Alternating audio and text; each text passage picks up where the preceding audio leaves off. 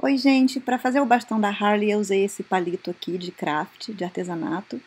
É, marquei o tamanho certinho, de acordo com a minha impressão. Essa impressão está disponível já lá no grupo para vocês. E cortei. Cortei a impressão para servir de molde e marquei um lado do meu palitinho. Depois eu fui tirando os pedacinhos com um estilete normal, estilete comum, bem afiado.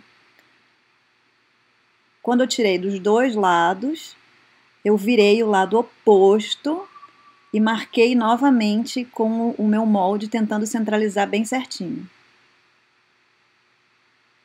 Segui é, tirando as lasquinhas até tirar dos dois lados. Agora vamos tirar do lado que a gente já tirou, vamos tirar dos dois lados que sobraram. Então, eu marquei e continuei tirando. Essa madeira é macia, não foi difícil tirar. Tá? Então, agora que eu já tirei bastante, eu vou lixar arredondado para mostrar que é possível, tá? Mas dá trabalho. Então, quem não quiser ter esse trabalho, é só fazer o bastão com massa. Vamos tirar aqui também para ficar arredondado.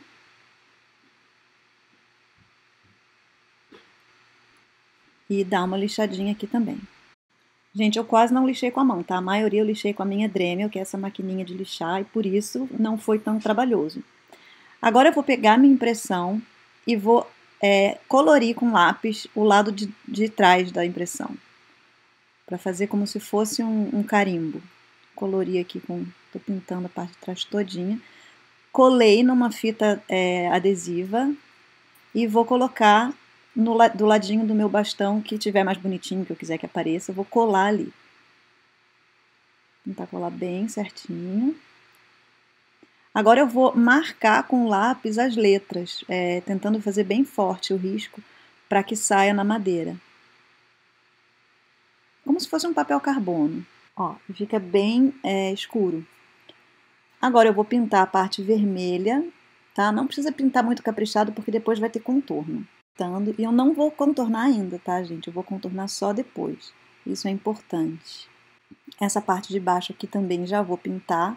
Eu desenhei só um lado no, com, com carbono, né, da impressão, e o resto eu fui de, de olho mesmo, porque é muito difícil encaixar certinho no contorno, no, fazendo todo o redor do, do bastão.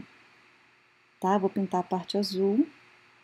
E esse aqui o contorno é branco e grossinho, então eu também pintei com tinta, tá? Isso aqui eu estou usando tinta acrílica mesmo, normal. E aqui a parte preta também é mais grossinha, também pintei com tinta acrílica. Depois eu fiz uma tinta bem aguada, marrom clarinho, e passei por todo o bastão para escurecer um pouquinho, porque ele não é tão claro quanto essa madeirinha que eu estou usando. Tá? Pode passar por cima do vermelho, não tem problema. Agora eu, vou, eu passei esse negócio que é Mod Pod, ele é tipo uma cola branca. Cola branca também serve, tá? Desde que ela seque transparente, tá bom. É que essa aqui seca bem transparente. Passei em cima de toda a pintura. E agora eu estou enrolando fita é, floral branca na parte que, que a mão segura o bastão. E eu estou colando, tá? Isso aqui, eu não estou só enrolando não, eu estou usando cola para que ela não saia depois de novo. Pronto. E agora eu deixei secar.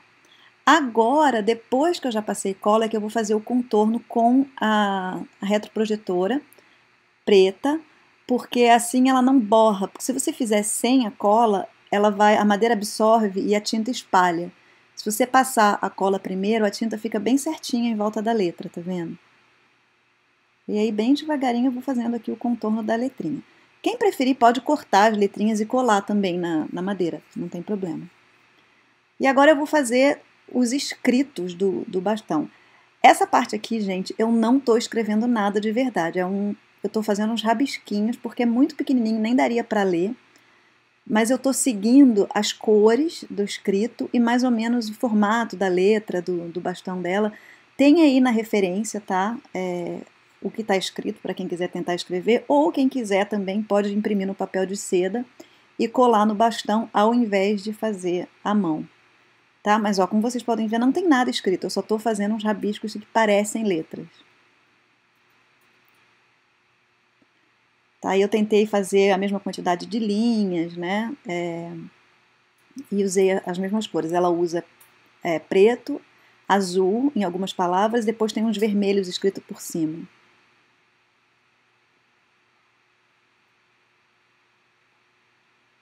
Pronto, gente. Tá pronto agora o bastão.